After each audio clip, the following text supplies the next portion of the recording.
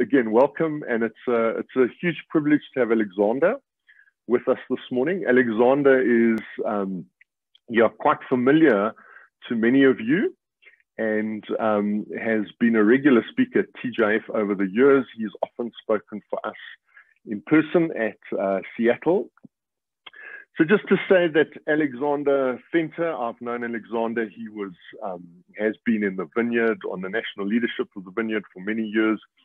He's retired at the moment, semi-retired, if I can put it like that, semi-retired in Ballito and joining us from uh, Ballito on the Natal North Coast.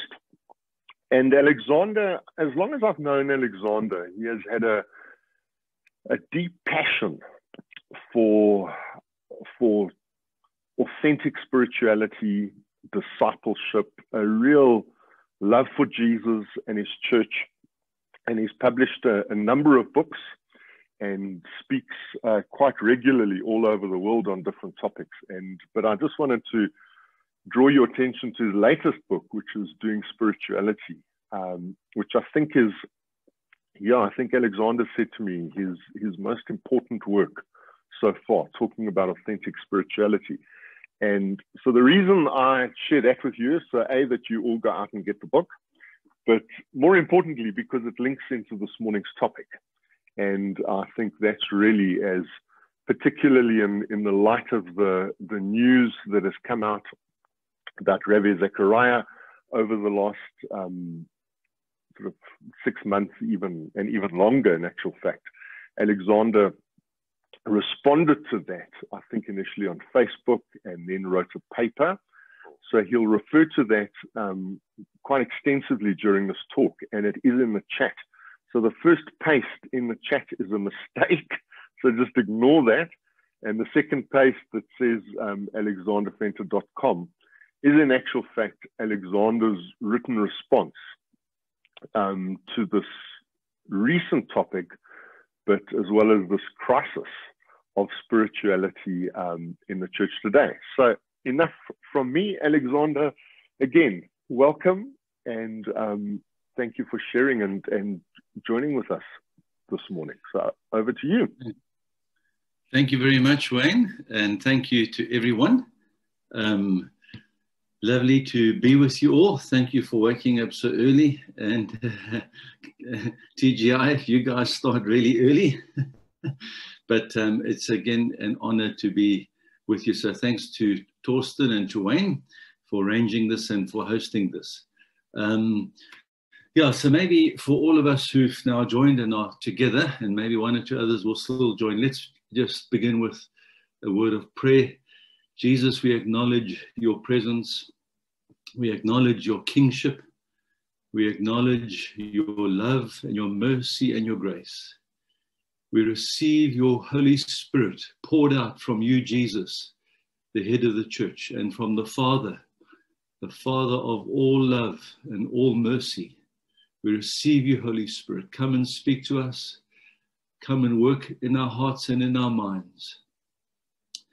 God, you know how much we need you, not only individually, as, as the church, as your church. Jesus, Jesus, we need you. We need your forgiveness. We need your mercy. We need your transformation. So, Holy Spirit of God, work with us in this hour together. In Jesus' name, Amen. Well, um, so what I want to do in addressing this this topic um, that uh, Torsten and I agreed on when we spoke the crisis of moral failure in the church. And in the background on my computer monitor, I've got my document, which I want to just refer to one or two points as we go through it. And as Wayne said, that uh, in the chat box, the second link that I posted is a link to this document in terms of a deeper response to um, yeah, fallen leaders or leaders who end up living a double life. So the question really uh, essentially is how do we respond to the moral bankruptcy in the church? Um, how do we explain it? How do we process it? And especially, obviously, when it is symbolized, and it is dramatically, publicly symbolized in like Ravi Zacharias, where after his death, all, all of these accusations came out more and more, although they did come out while he was alive through a woman, Tori Thompson, in Canada, um, of basically sexual abuse and including spiritual abuse. And then, of course, after, especially after one's death, the stuff comes out, and then the organization has a problem. The directors to to to deal with it, to face it, um, and then it, it it just becomes a, a terrible crisis of credibility and shame and guilt for not only Christian leaders but for Christians and for the church and and in a sense tragically the world laughs. So this is a very very serious matter. We cannot take it lightly. And uh, i personally was uh, was really uh, um, yeah uh, broken and shattered by ravi zacharias. I held him in very high regard. But perhaps more so jean vanier those of you who know henri nouwen who went to work with jean vanier in L'Arche communities uh, equally after his death six women came forward and accused them um, of rape and uh, sexual abuse and uh, spiritual abuse as well, spiritualizing these sexual encounters. And I mean, it's just shattering. It is just shattering. So um, we we as Christians have got to walk humbly. You know, I always think of the text, I always begin with in, in my mind with Micah 6, verse 8. What does God require of you? Um, to do justice, to love mercy and to walk humbly with God. And when we think of the church, and especially Christian leaders, and especially male Christian leaders, in the eyes of the world, we really need to walk humbly because we are tainted with the same brush and the same question mark of credibility hangs over us. Is our integrity intact?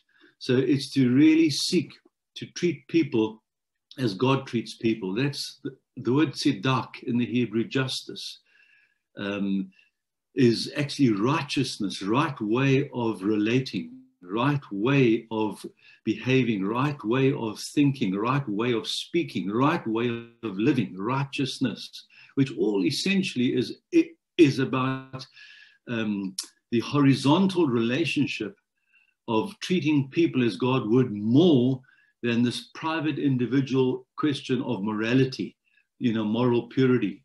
Um, what is seen visibly in my mind of other human beings actually reveals the truth or lack thereof of my relationship with God. And so the repeated refrain in the New Testament is how can you say that you love God whom you haven't seen, and yet you don't love your neighbor whom you have seen, who is visible? So our treatment of concrete people around us, day in and day out, actually um, is the proof of the reality or lack thereof of our inner morality, our relationship, our spiritual, our relationship with God, our spirituality. So, what does God require of us? Is to is to do justice, to love mercy, and there again, we're not reacting here to stuff like with Ravi Zacharias with um, judgmental uh, superiority. You know, I think of Paul, he who thinks they stand, take heed lest they fall.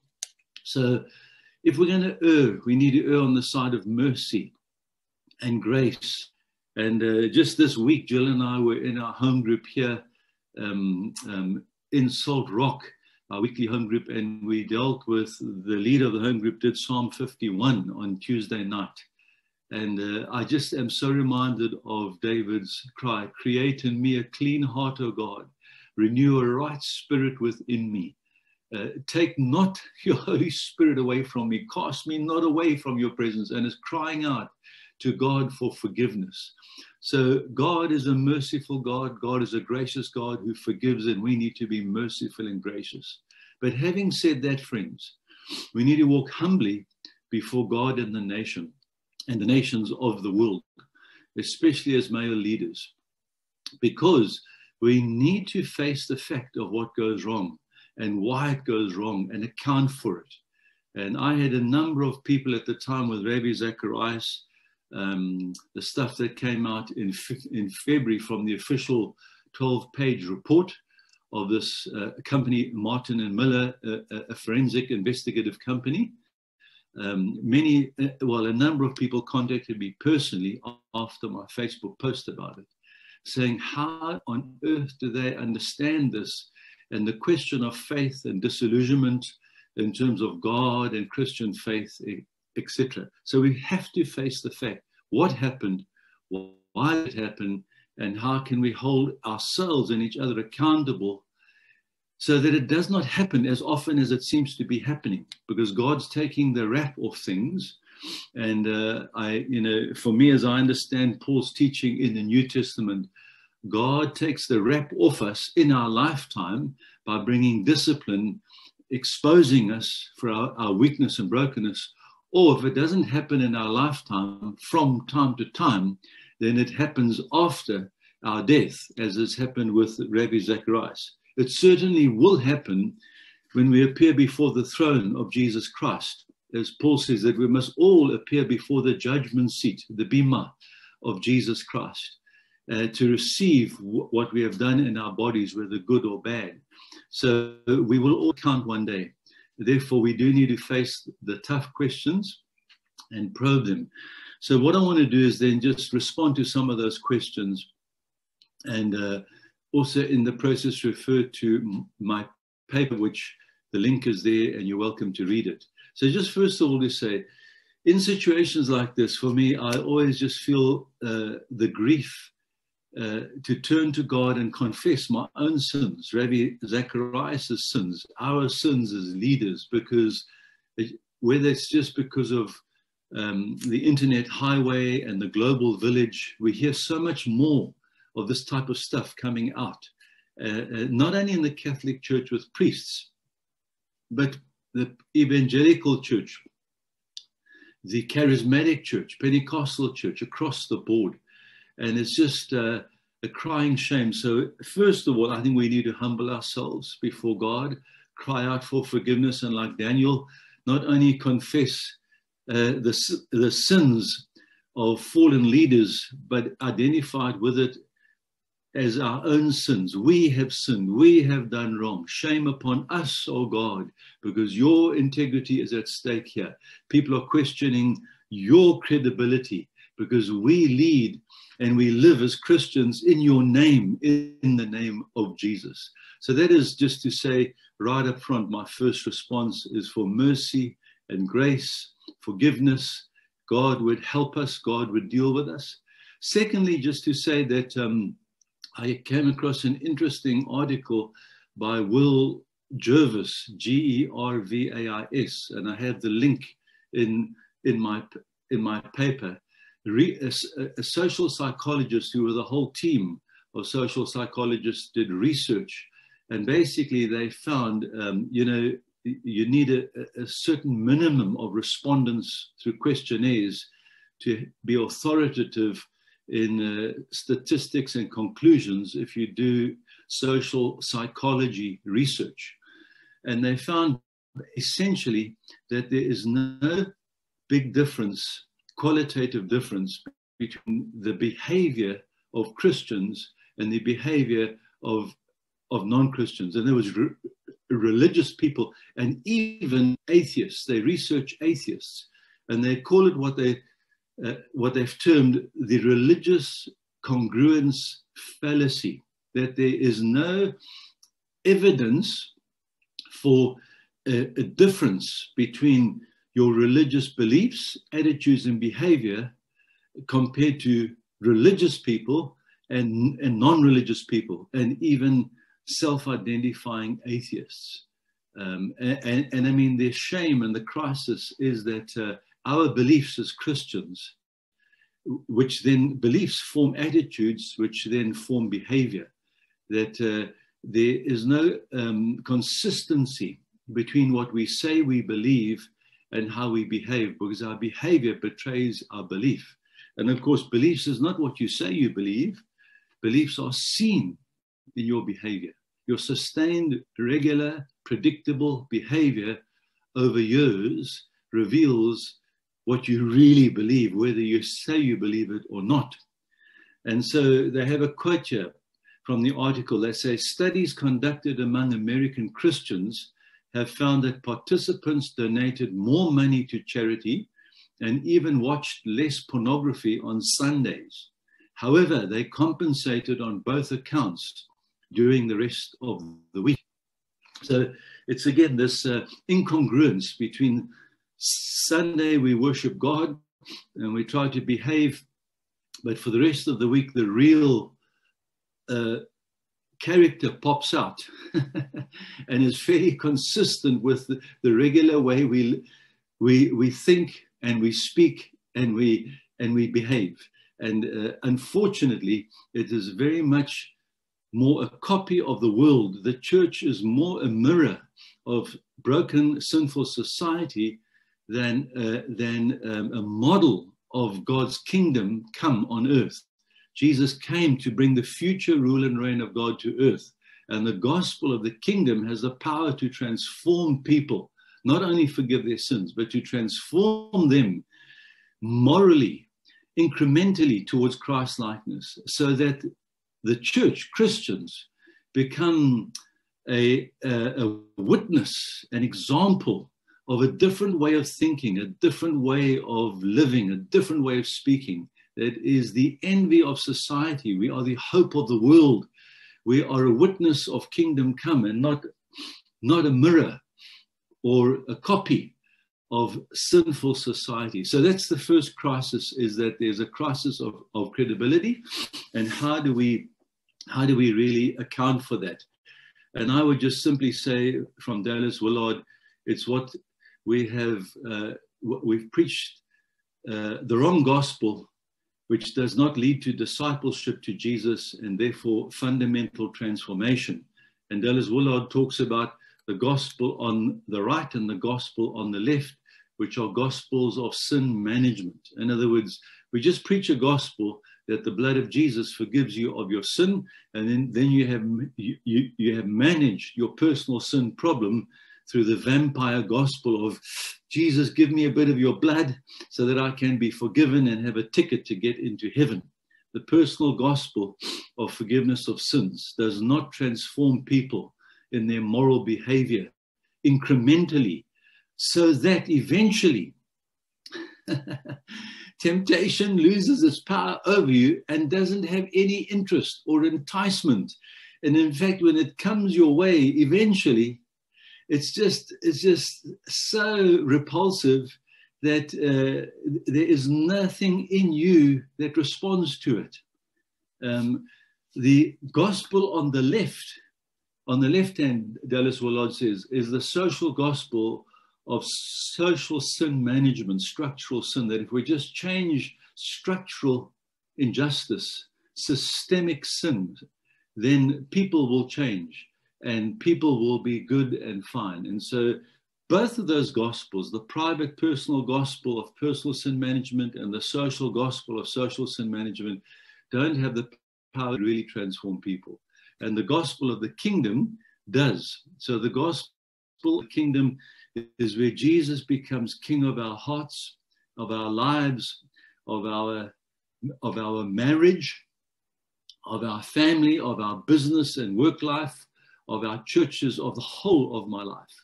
And when Jesus truly rules and reigns, then sin cannot rule and reign for any length of time within me. If I allow sin, repeated patterns of sin, to rule and reign in me under Jesus' kingship as a Christian, when Jesus is king in my heart and life, I can only do that by compartmental, compartmentalizing that part in me and separating it out from the whole of who I am and sear my conscience in regard to that area of repeated sin and where Jesus is not king. So that is what Lord has the phrase from Matthew chapter 6, verse 10, where Jesus taught us to pray, Let your kingdom come, let your will be done on earth as it is in heaven. The kingdom of God is where the will of God is done. He says the kingdom of God is the effective range of God's will, where God's will is done, his kingdom has come. Where God's will is not done, his kingdom has not yet come. So, in my life as a person, we have this uh, capacity in the psychology of the human being and what Jeremiah calls the corruption of our hearts. It says the heart of the human being in chapter 17, verse 9, is desperately wicked and deceitful above all things. Who can know it? It is so deep with mixed motives that only the Lord God knows the depth of our hearts. So we have this capacity to say, Jesus, you are my Lord, you are Savior, I love you, I worship you, and yet compartmentalize a part in us that actually continues to, to pursue sin in a certain area of our lives. And that then, once like sexuality with Ravi Zacharias, and then eventually the use of spiritual explanations in the sexual encounters to justify them, which is spiritual abuse. Then eventually paying off some woman from a ministry fund to support the single mother and their child because she's giving him sexual favors when he got massages. Uh, so that is then financial abuse, spiritual abuse, sexual abuse. So, what happens within us as followers of Jesus, let alone with leaders, the average ordinary Christian, is that if we if we sin, we we feel guilty. The Holy Spirit convicts us and we come to Jesus as 1 John chapter 1 verse verse 9 says we confess our sin. We ask Jesus to forgive us. He forgives us. He's faithful and just to cleanse us from all unrighteousness.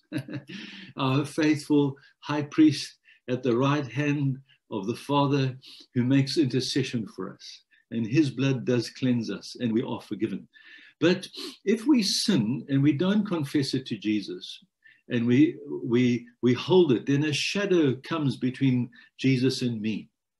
And our conscience uh, starts being bothered and uh, w- tolerates this unresolved um, shadow or darkness that i actually keep uh, between jesus and me because i'm not honest. I don't come clean and i don't confess to jesus. Then one sin that is unresolved and unconfessed easily leads to a second sin in that same area, then a third sin. And so it becomes a pattern of sin. And a pattern of sin eventually becomes a habit. And a habit eventually becomes what psychologists call an addiction. So, as the little girl, and I've used this um, little uh, uh, illustration often in these kind of talks, as the little girl at Sunday school said when she said to all the children, What is a lie? And little girl put her hand up. She said, A lie is an abomination to God and an ever present help in times of trouble. and of course, we laugh about that because for many of us, lies, white lies, for white people, are an ever present help in times of trouble. When you're in trouble, just lie and then you get out of it. And so Jesus called Satan the father of lies because the way sin and then through sin, death entered into God's pristine creation in the garden was through the serpent lying to Eve and lying to Adam.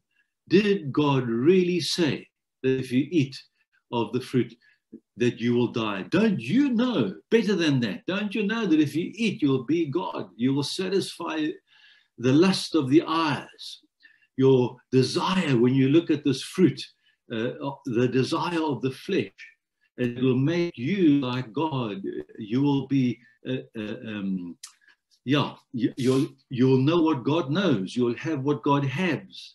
And so this idolatry of self-worship, me, myself, and I, at the at the end of the day, what's good for me, what I feel like, my sexual rights, my entitlement, my satisfaction. So just to say that we go down this road and it's what the Bible in the in the New Testament calls besetting sins. Um, I, that's from Hebrews chapter 12. Looking to Jesus, let us throw aside anything and everything that entangles us in sin. The old King James language is good. besetting sins. It's what David calls in Psalm 19 secret sins. Forgive me of the sins of my youth, forgive me my secret sins. So, this idea of living, developing a secret life of brokenness in a certain area of our human personality. And to tolerate it, we actually have to start closing off our conscience to that area of life and keep it away from Jesus and other people and, and incrementally hide it. That leads to, to the corruption of character. So lying is the beginning of the corruption of character, of ducking and diving and hiding, where we no longer walk in the light as Jesus is in the light, but we actually allow a shadow to become a darkness, to become eventually a wall that cordons off that particular area of our life, and to end up like Ravi Zacharias and Jean Vanier and others, abusing women, being a predator over many years, not just the one night stand, but over many years. You have to actually overcome your conscience to then start being a predator that actually abuses abuses people. And that's way down the road of character corruption and character malformation in this area. And you get this incredible anomaly, this unbelievable duplicity of being able to be on international public platforms and uh, have the most brilliant mind with amazing theology and insight, and yet such inner hidden corrupted character and malformation that you not only sin, but you become a predator and abuser and justify it in the moment with spiritualizing stories of union with God and then paying people off to keep quiet by supporting them monthly out of ministry funds. I mean, it's just, it's just one wants to weep when you, when you when you think of it carefully. And you know, in one way, we can all get there. we we all are sinners and we can all end up there if we don't guard our hearts. In another way, it takes a long progressive journey to get to that place of brokenness. So one sin is one sin. Patterns of sin have got to be really, really taken seriously and broken with the help of the Holy Spirit, bringing it to the light of accountability. Patterns of sin that are eventually unresolved become the power of evil that starts gaining control of that comp- compartmentalized part of us. And whatever is separated out of the whole of us begins to drive us. And that's what the Bible calls demonizations, what psychologists call addictions. It, it, it, it, acquires a power over us beyond us. And so that is what the, uh, the Latin church, the early church in the, in the Western church, called the seven deadly sins or the seven vices. The Eastern church, the, the Eastern monastic movement called the eight passions. And I just want to read them in my book, Doing Spiritu- um, Spirituality, uh, on page 253. It's gluttony is, is the first one. So we all have our vices. We all have our little foxes that spoil the vine the garden of our hearts that God has entrusted to us. And if we don't catch those foxes that spoil the vine, they actually end up gaining control and wreaking havoc in the rest of us. Eventually, when God hands us over to our lusts, hands us over to our unresolved sinful patterns. You know, the, the worst judgment God paid on Israel was to give them over to the idolatry of the worship of foreign gods by sending them into exile to be ruled by foreign gods and powers. And in Romans chapter 1, Paul gives a progressive uh, process, a downward spiral of corruption and decay, denying the knowledge of God, suppressing the truth that God has given to us through creation and His Word, that then um, leads to the disillusionment of our mind, whereby in our mind is darkened and we justify sin, which then ends up God handing us over to our corrupted appetites, our unresolved uh, sinful desires. And those corrupted appetites, uncrucified flesh, and sinful desires end up driving us with demonic spiritual power so that it becomes who we eventually are. And that will be separation from God. Cast me not away from your presence, Lord. Take not your Holy Spirit from me, Lord, says David in Psalm 51. That was his worst fear. The worst instinctive fear in the deepest part of the human being is the cry that Jesus cried on the cross My God, my God, why have you forsaken me? Is, is, is being separated from the presence of God, not only here in this life, but eternally um, in our immortality, is to be separated from God. That is hell. So, gluttony is the first vice. Lust, gluttony has to do with our relationship with food. Is that a vice, an unresolved issue in you? A wrong relationship with food. Lust, wrong relationship with sexuality, were you're driven by lust. You know, lust, sexuality, the gift of sexual, human sexuality is actually the gift of love of the way we relate to, to other human beings, both male and female. The way we relate to people is essentially about healthy or broken human sexuality.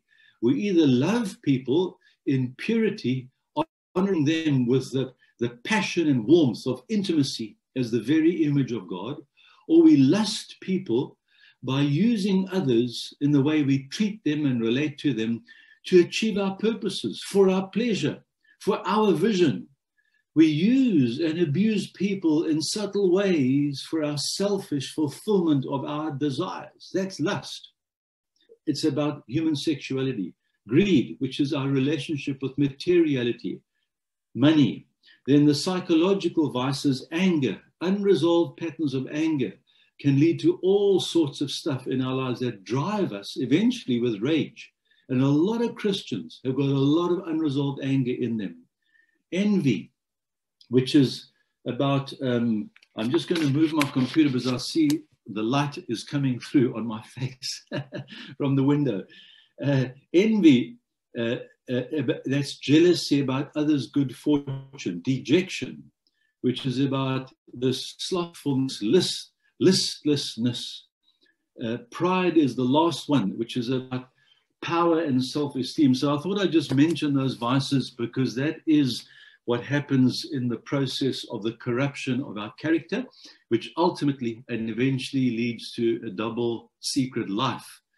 As, as Ravi Zacharias um, experienced. And so, having said that, let me just say that personal responsibility is primary, and we need to put to death any unresolved issue in us, um, or else eventually it, it begins to uh, um, gain power. And the way we, we put to death that is bring it to the light of confession and hold ourselves accountable to the Lord through personal confession, but also to brothers and sisters. And that's why James says that if anyone um, basically is caught in a sin, go and confess to one another. Confess your faults, your failings to one another, and pray for each other so that you may be healed. Uh, in terms of other contributory factors, and I'm at the end of my talk, so I just want to mention this briefly from my paper. So, personal responsibility obviously always is primary, but with a situation of fallen leaders like uh, Ravi Zacharias, even Bill Hybels, um, and Carl Lentz and others that have, uh, there are many names one can mention. There is also other contributory factors. I'm just going to mention them that I've listed. The one is leaders are often lonely with no real personal friends and especially when it comes to men. So, leadership in the church today is still by far the majority. 90% are male leaders in terms of, of senior leaders of churches and Christian organizations. And men notoriously do, don't know how to be vulnerable and have safe places of, of, other male friendships, like David and Jonathan friendships, where we can have a safe place to live a disclosed life and confess our emotional pain and rejection. Because behind pornography and masturbation, behind lust, behind these things, is broken masculinity, is hurt and pain, rejection from childhood. There are reasons for this that we don't go and get healing from and hold ourselves accountable in these safe places of transparent David Jonathan friendships among as men. Uh, the second reason is the deeper issue of toxic broken masculinity, which I've alluded to already. But I have a phrase that I use in men's talks that where, where um, our sexuality and our spirituality meet, that is, the, that is in the deepest place, in the deepest core of our identity of who we are as men.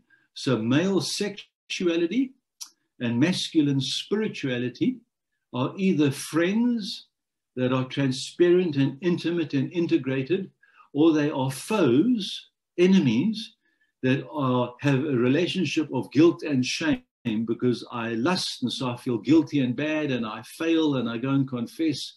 And so I do this personal sin management unless it gains power over me. And so there is a separation between our sexuality and spirituality.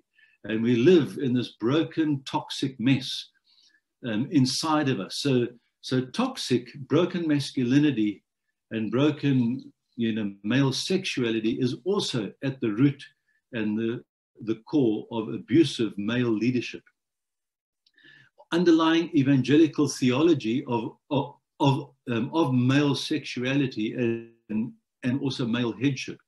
So I've made a comment here that a lot of the popular evangelical books on marriage teach a form of sexuality, especially when it comes to male sexuality, that actually I think has contributed to, to the, the, the, the, the secret feeling of entitlement among men.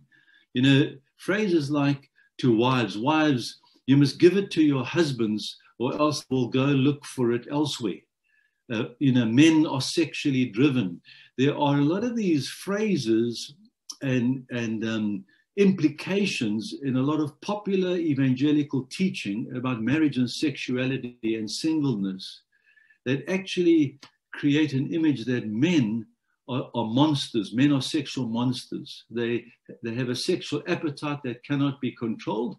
And uh, Paul says, you better get married or else you're going to lust and burn. So get married, and wives, you must just serve your husband sexually. And it really is, is wrong, completely wrong male, old, toxic, patriarchal view of sexuality that we need to rethink and change. Um, in fact, Paul's reference to sex and marriage in 1 Corinthians chapter 7 is radically is radical mutuality is not male dominated cultural theology of male headship. He, he says that our bodies don't belong to one another and we mutually serve one another in the intimacy of marriage sexually for mutual uh, spiritual protection against temptation of the evil one. So, number four is the refusal to take woman's accusations seriously. And uh, just to say that notoriously men don't listen to women generally, and our fragile male egos are quickly threatened when, when women give us honest feedback. And many of you know my dear wife, she's a very honest, upfront person. So pray for me. but uh, women that are honest and in your face and have no problem of being under the under the the psycho-emotional domination of men and say it as it is back to men, how they experience you directly and clearly, is actually for very few men take women seriously and listen objectively without becoming defensive and without uh, um, then the, these innuendos and implications of a Jezebel spirit. The woman is the temptress. You see, manipulation and all of these stereotypes that we still have deeply ingrained in the male sexist mind that goes back generations. That is part of our problem in what has uh, uh, brought us to this place in the church. And then number five, organizational culture and celebrity status. So in especially mega churches and large Christian organizations, there is uh, this culture in the organization where they allow the man of God to become a celebrity. And of course, with that comes all sorts of, of pressure. Um, so we must be very, very careful of allowing any sense of celebrity status around the team leader, the senior pastor, the man of God. And the whole issue of the culture of honor and the way we honor leaders, we have to be very careful because there's a, there's a teaching of a culture of honor that uh, has some good elements in it, but doesn't have good um, other good elements. As an example, this thing of titles, apostle so prophet so. And when you invite the man of God to the platform, you've got to get everyone to stand up on their feet and, and give a person a standing ovation. I cringe when that happens. It's, it's just not right. It feeds unmet ego needs within leaders and especially male leaders for our need and desire for admiration. And a lot of leaders have unmet ego needs that are fed by this um, implicit culture of celebrity, of honoring the man of God, the key leader, which is very unhealthy. And it contributes to this because then the leader gets a sense of entitlement. And I'm finishing off lack of oversight and accountability within the core teams of elders, board of directors, the lack of hands-on diligent oversight and accountability. And uh, the directors of Ravi Zacharias Ministries International uh, must have known something was happening, and especially when Lori Thompson accused Ravi Zacharias over a period of a year, they covered it all up, dismissed it, and they do gaslighting the same with Bill Hybels and the elders in Willow Creek. They made the woman who came forward and accused him of inappropriate behavior, they made them think that they are the perpetrators, the manipulators, the temptresses, and the Jezebels. And uh, then you think you're going crazy as a woman. So, this accountability issue within the team is very important to hold leaders accountable and lastly, big platforms and big donor money to keep the show on the road in the fear of it all disappearing. So therefore, leaders are not held accountable and not and not corrected and disciplined and told to step back because if they are, the whole thing falls apart. The money no longer comes in, and we can no longer do what we're doing, and all of our jobs are on the line. So that's the sad conclusion and the tragedy. And those are the things we need to be careful for in churches and in organizations. So, Wayne, I've taken the full time. It's now 14 minutes past seven, and we can discuss.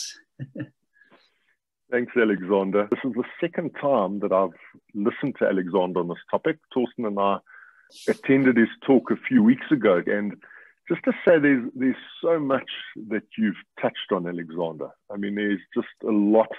I think a lot of it comes out of your own history of, of pastoring local churches, a lifetime in ministry, and then also leadership, national leadership, and consulting with a lot of other pastors and leaders. So, just to say that, I mean, even listening to you again on this, um, there's a lot just to reflect on, I think, individually. So, yeah, I would encourage you, if you if you can, to get the recording of this. We always make it available, and um, also just to deeply reflect on some of these things. Anyhow, that said, uh, if you would like to ask a question or a comment, you're welcome to raise your hand. If you unmute yourself, you'll jump to the top of my list, or you can um, post something in the chat box. Okay, so Pepe says, do you think that independent church leaders, in other words, non-denominational movements, independent churches, are at greater risk of falling because they don't have a higher a higher leadership, a council or such that that keeps them in check. And Pepe, I would say, um, in general, yes, that independent churches and independent church leaders that don't belong in any formal accountable relationship to a broader leadership structure um, are more vulnerable to developing um, unaccountable attitudes and behavior and developing a secret life um, of sin in this way. But um, the, the tragedy is many denominational leaders equally develop a secret life, a double life in leadership, even though they're supposed to be accountable uh, to broader and, and senior leaders within the movement of churches. And the key here is to hold ourselves accountable to others and our leaders and not wait until they have to come and call us to account. Uh, spiritual formation towards Christ likeness means that incrementally, the longer I live as a leader, the more quick I am to go and hold myself accountable to my peers and my leaders and not wait for others to come and call me to account over a particular issue that's happened or some tension or some feedback that's come. So, um, yeah, but independence is uh, a vulnerable place to be that allows the enemy to pick you off easily. Thanks, Alexander, for the talk. I think I think the one thing that's kind of so unsettling about this whole thing is that there was a lot of truth that Ravi Zacharias did preach, and some of his teaching was good, etc. And then there's aspects of his lifestyle that were definitely unacceptable and non-Christian, and it's it's that clash that makes it so difficult because you know to to non-Christians watching on. That, that almost in their mind justifies writing off the, the truth that he may well have been teaching and yeah, I mean, I don't know. You, you kind of go to the point um, when you see that unregenerate lifestyle and was he ever saved and those sorts of questions. And i yeah i don't know if you can elaborate a little bit more on that. I mean he, is was he i mean he's just a sinner like the rest of us or was he ever saved? A, yeah. So marty look again what you are raising is very important and one can say a whole lot. Look, I have no doubt in my mind that Ravi Zacharias was born again by the Holy Spirit was a follower of Jesus, a great Christian apologist, and in many ways, um, very, very helpful. But obviously, developed this secret life of sin that then eventually overtook him and drove him, whereby he could no longer control it and eventually he could no longer hide it. Um, and then, so just know that the human beings have this capacity within them to live this kind of double life. It doesn't make Ravi Zacharias an unsaved person, um, in my opinion and my understanding. Uh, God knows how he will uh, discipline or whatever happens with Ravi Zacharias is in the hands of God. I think from our point of view, we need to say that, um, uh, you know, we, we can learn from Ravi Zacharias' writings and teachings, but now with open eyes and a different understanding and frame of mind because of what we know about the life that he lived, at least for six years before he died, the last six years before he died. That's the evidence. So I would not recommend his books unless, in recommending a particular book, to a leader or person that wants to read in a certain area, I would give the disclaimer and the explanation, read it carefully with the knowledge that this happened um, so that you are aware. But it doesn't mean we just throw the guy out and banish him in a, into outer darkness. Um, God is the judge. God knows how to deal with it ultimately. So we can still learn, but with the disclaimer so I would not personally recommend his books. I would not personally refer people to him unless I give disclaimers and explain so that they do read it with a discerning heart and a discerning mind. And then just your last comment, Marty, is that, yeah, look, we are all sinners and we all do wrong and we all need God's mercy. But what we're talking about here with Ravi Zacharias is a different order of, uh, of brokenness that was a sustained pattern of uh, behavior over six, possibly 10 years. Um, so that is a different order. And believe you me, before we get into that level and order of brokenness in behavior, you've got to go through a long period of conditioning. It doesn't happen overnight. So um, I don't think we can all end up doing what Ravi did. Uh, theoretically, yes, but practically, it'll take a long time before your brokenness of character and all the schemings and machinations of hiding things and developing a secret life and lying and covering up are so skilled that it can go on year in and year out for a long time. So it's it's just a different order of things. Alexander, I'm going to ask you quickly. You're going to have to answer these quite um, quickly because now all of a sudden, or just be brief, there's a lot of questions coming thick and fast. We have developed many Christians who now become street angels, but house angels, house devils. This is the result of a secret life. Yeah, thank you for that, Jana. And then um, the next question after that was by Riccardi. Uh, how do we help institutions to become accountable? In most cases, charismatic leaders co-opt the organization in covering for them, as in Ravi Zachariah Ministries, and in the case of the Roman Catholic Church, reputation took precedence over accountability. So, again, this is a complicated issue because of the deceitfulness of the human heart.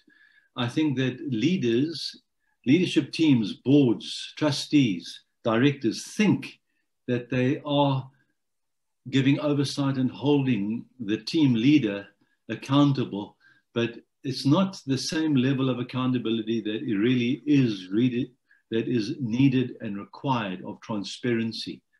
Um, and of course, likewise, from the leaders, the team leaders' point of view, don't not holding themselves accountable. So we need to find ways and means of greater transparency, greater uh, courageous arm's length.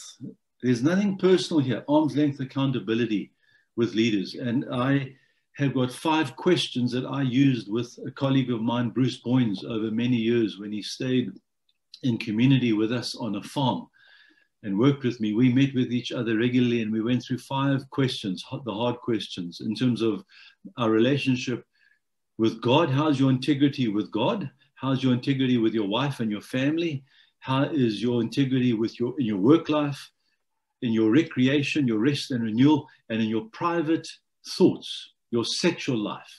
And then in answering the five questions, we had a sixth question Have you lied to me in any of your answers around these five questions? so we need to hold accountability, needs to be radical, dispassionate, by being um, in your face and asking the hard questions ongoingly so that we live in the light and we keep ourselves from this corruption of character. Mm. So that's a short Thanks, answer. Yeah, and Interlene's question was around toxic masculinity. How do we strengthen healthy male role modeling in a country with ingrained um, gender-based violence and patriarchy? Yeah. Big one. So, De- so Delene, this this is the jackpot question, the million-dollar question, and this is the Mount Everest in South Africa. We have the Alps in South Africa, Mont Blanc the Matterhorn, which are other issues, but the Mount Everest is this abuse of men against women and children that happens every 26 seconds. A woman and or child is raped in this country on average by a so-called man or male. So this is this is a massive, massive issue, and we men are particularly uh, responsible to address this and to actually um, work with men's issues so I do, I've got six standard talks on men's issues, 10, where I do men's conferences or men's retreats. And I always say when I do this, I would offer myself to go anywhere, literally around the world, to do a men's conference or men's retreat with men to do these six talks, where men work with their stuff and they face their stuff because this is the Mount Everest. This is the, the, the, the big thing. and uh, we men have got to call each other to account and be in, in each other's face for the sake of healing from toxic, broken masculinity and residual sexist patriarchal attitudes that are deeply, deeply ingrained that most men don't even know are there But women experience, and if they are honest with how they experience us, and they tell us, they feed back to us how they experience men, men would be shocked if women were really honest with the way they experience us. And we really desperately need help. So, Delene, there's much to say, but maybe I should stop there. Um, Wayne? We'll try to do two more questions um, um, and then yeah, see if we can still end at uh, 7.30. Um, yeah, Seb, could you comment on the relationship between ego, accountability, and a sense of self entitlement? All right. So, um, Seb, un, unmet ego needs. In other words, if we as Christians and followers of Jesus don't draw draw from Jesus the affirmation and the identity that we need as being His beloved one, His son and His daughter, unresolved ego needs make us vulnerable to then uh, feelings of entitlement and and uh, lack of accountability and and other things. In the kingdom of god as disciples of jesus our only entitlement is is um, the love of the father because of the son god's gift of jesus all of us is his gift of love that actually is our identity. And so any other sense of entitlement of my rights, my this, my that, we have to hold lightly as followers of Jesus and find our, our needs, our ego needs, our fulfillment in the love of God that defines and identifies us. Otherwise, we will look for it out, outside, elsewhere with other people and other things. Then we begin to feed off those things in a subtle way. And before we realize it, we catch ourselves actually developing an attitude that is inappropriate. And then we realize we've already gone down a road where unmet ego needs are seducing us because we've not drawn on our personal discipleship to Jesus, where we've been enveloped in the love of the Father, affirmed in the love of the Father, and identified in the love of the Father. So, this is for me the, at the heart of the issue. Oh, good. Thanks, Alexander. And now I think the last question we're going to take, because we are out of time now, is from, from Dave in Arusha. Thanks, Dave. When back in about 82, uh, when I not long come back to the Lord, there were two churches. We were with the Christian Missionary Alliance in Australia. And um, and Ravi came out to spend two weeks, two small churches, about a 100 or so, uh, paid for him to come out and uh, spend a week in each of our churches, and we took turns. Uh, at that time, he, uh, in the first week, he lost his voice. And uh, so he couldn't come to our church for the second week, and he left and went back to Canada. And he, he made a promise. He said, uh, You know, I'm going to honor this. Um, this commitment that I've made. And um, I was, you know, I looked at him because he was the mighty man of God, the way he was, even with us being small churches, he was lauded big time way back then. And I thought, as a young Christian, um, I I don't know if he's going to do this.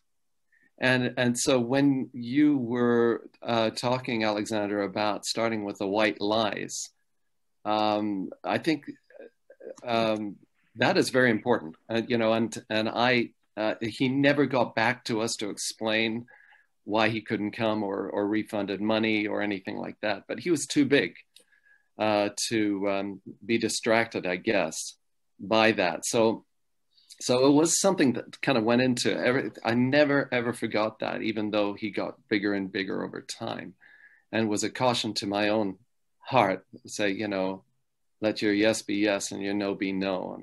And that was from a from a new Christian. Yeah. Uh, thank you for sharing that, David, the personal story and experience. Appreciate that. So, Alexander, again, thank you very much. Um, as I said, there are many thanks coming on the chat, but um, a lot to think about and to contemplate.